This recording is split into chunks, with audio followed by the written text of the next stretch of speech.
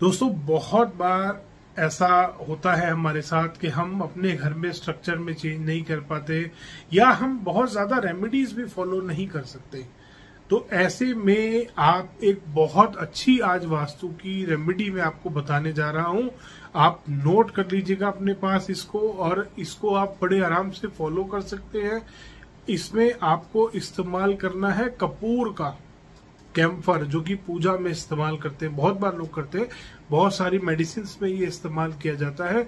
इसके बहुत ही ज़्यादा फ़ायदे होते हैं। किसी को घर में डिप्रेशन की प्रॉब्लम है, आप कैम्फर का इस्तेमाल कर सकते हैं। स्किन एलर्जीज की प्रॉब्लम है, तब भी कैम्फर का बहुत बार यूज़ किया जाता है। दोस्तों, वास्तु दोषों को खत्म करने के लिए भी ये कैम्फर का इस्तेमाल किया जाता है। घर में नेगेटिविटी फील करते हैं। आप कपूर से वास्तु दोषों को भी खत्म कर सकते हैं। गलत टॉयलेट बन रहा है गलत दिशा में। उसके आसपास